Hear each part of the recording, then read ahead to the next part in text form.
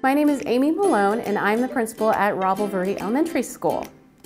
Our Spanish immersion program begins in first grade and the students test into the program and we have an amazing first grade Spanish teacher and they, they are immersed in the Spanish language at 90% Spanish and 10% English. So um, the kiddos, it's really amazing. They come in at the beginning of the program, it's a little bit tough for them because they're immersed in Spanish, but they learn very quickly and the teacher does a really good job of teaching with visuals and hand motions.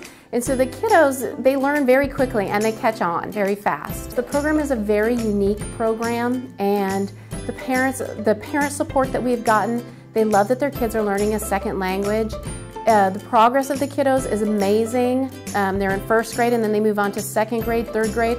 The kiddos by second grade, they have so much confidence. They're presenting on um, social studies, some of the social studies curriculum. The kids are doing presentations.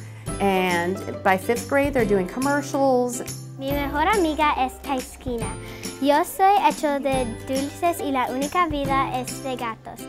I see tremendous growth, especially when they get to do their PowerPoints. They get to present, you give them a topic and they present. They actually do a PowerPoint and it's done in Spanish and they, they take about three or four weeks to get it down, but once they're comfortable, they're, it just comes out naturally and they're doing very, very well. Um, estamos practicando um, estudiar objetos directos y cómo cambiarlos. Muchos animales no son en buen condiciones.